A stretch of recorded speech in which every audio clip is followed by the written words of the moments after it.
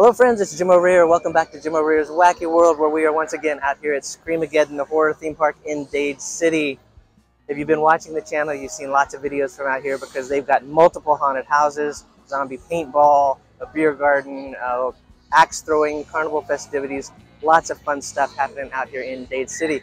But tonight, we are going to show you what it's like to play zombie paintball. So come take a look. Zombie Paintball Assault is one of the many fun things to do out here at Screamageddon in Dade City. And you enter this building here and notice there is a map that shows where you are going to go and the different zones. And uh, pay close attention to Sector 5 because, well, those zombies smell like ass, apparently. Yeah. So when it is your turn to go kill zombies, this bus pulls up that is equipped with all the weaponry that you need. And you're going to go ahead and load up on this bus. And you'll notice when you get inside here that uh, one side of the bus has benches on it right there where you're going to sit, and the other side has all these guns. Lots and lots of paintball guns just lining the window right there. And, uh, and you're reminded by the various graffiti and things like that painted inside the bus that, uh, well, zombies hate fast food.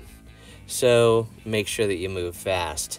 Now, when the bus pulls out, you get to enter the atmospheric woods here at night with all these wonderful colored lights. And they go over how this game is going to be played, how you're going to shoot the guns, what's going to happen. And they do all this while they're loading up your pellets, which you get to use on some test shots right here on this van.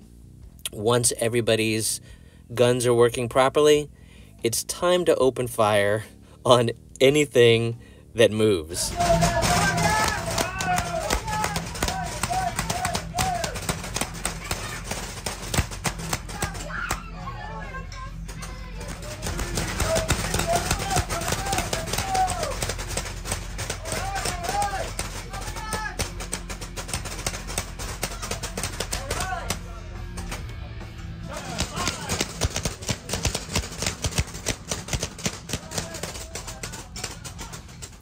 This is so much fun. I play this every year, and it seems like I get worse and worse at it every year. but it's still a lot of fun. And uh, just going out here and seeing all these cool sets that they have built up, and the lighting, and the glow paint, and the zombies that are wandering around it's very very cool. That one is hilarious, right there, holding a shield. Um, but uh, but you can also, if you get there early enough, you can play it in the daytime and it's a whole different feel. Like the darkness, you can see the glowing pellets and things like that, but in the daytime, it looks like this. In the day, when you play in the day, you get to see a lot more of the sets. You can see the zombies better. Uh, you can sort of see where they are, where they're coming from, and things like that. Uh, and, and, and appreciate more of the details that have gone uh, into uh, building these sets and, and this environment.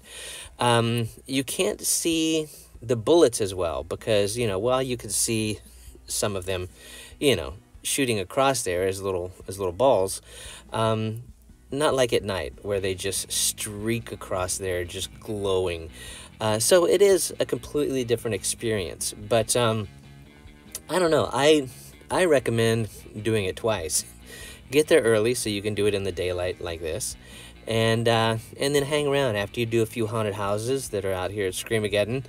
Um, go back and play zombie paintball at night and get that full night experience also because it really is two completely different things. Now, when you get done shooting and killing all your zombies, the bus is going to take you back to where you began and uh, you'll just unload and head on your way back into the Screamageddon Midway and more haunted houses. So that is the paintball experience. There you go. That is playing zombie paintball out here at Screamageddon in Dade City, Florida.